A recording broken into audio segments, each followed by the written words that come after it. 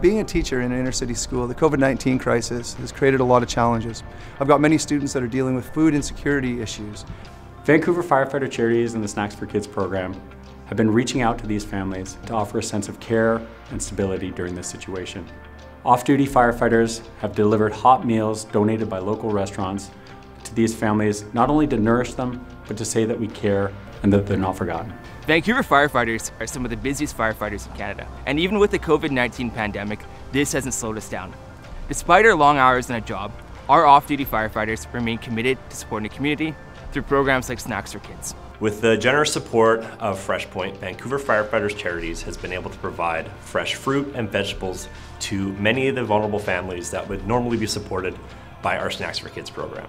In addition to this, the outpouring of generosity and support from our many wonderful donors have allowed us to distribute gift cards to many of these same families, allowing them to provide for the daily urgent needs that they need, such as diapers, baby food, and cleaning supplies, helping them get through these incredibly difficult times.